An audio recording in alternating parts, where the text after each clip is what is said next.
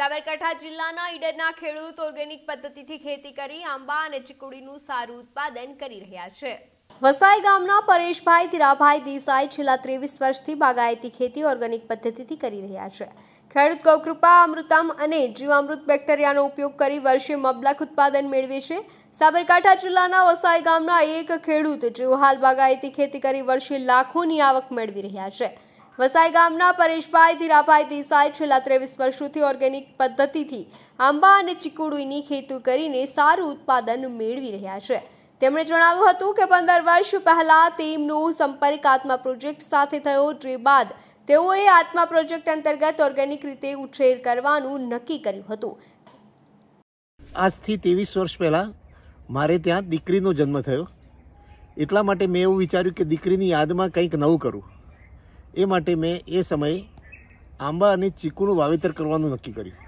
એટલે મેં મારા પિતાશ્રીની સલાહ લીધી કે આમાં શું કરાય? આ જમીનમાં શું કરીએ તો આપણને કંઈક મરી રહે.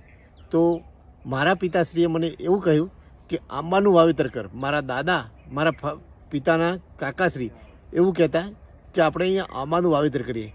એમની ઈચ્છાની પૂર્તિ કરવા માટે મેં આંબાનું વાવેતર કર્યું. ત્યારબાદ મેં વચ્ચે ચીકુની લાઈન કરી. તો વીસ બાય વીસના અંતરે મેં ઓબા અને ચીકુનું વાવેતર કર્યું અને આ ઓબા અને ચીકુનું વાવેતર ને ત્રેવીસ વર્ષ થઈ ગયા. ત્યાર પછી મારા પિતાશ્રી મને એવું કહ્યું કે ભાઈ, આની અંદર આપણે કોઈ રાસાયણિકનો ઉપયોગ નથી કરવો. ફક્ત છાણિયું ખાતર વાપરીએ. તો શરૂઆતમાં એ વખતે અમે ફક્ત છાણિયા ખાતરનો ઉપયોગ કરતા.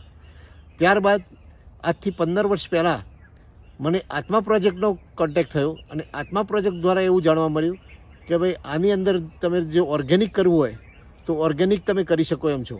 તો તે પછી મેં આની અંદર જીવામૃત અને ગૌકૃપા અમૃતમ આ બેક્ટેરિયાનો ઉપયોગ કરવાનું ચાલુ કર્યું. અને ત્યારબાદ મેં આની અંદર ફક્ત ગૌકૃપા અમૃતમ અને જીવામૃત એ અત્યારે પણ હું બનાવું છું અને અત્યારે પણ એની અંદર જવા દઉં છું.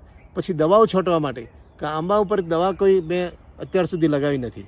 એના માટે હું હું પોતે આયુર્વેદમાં સર્વિસ કરું છું.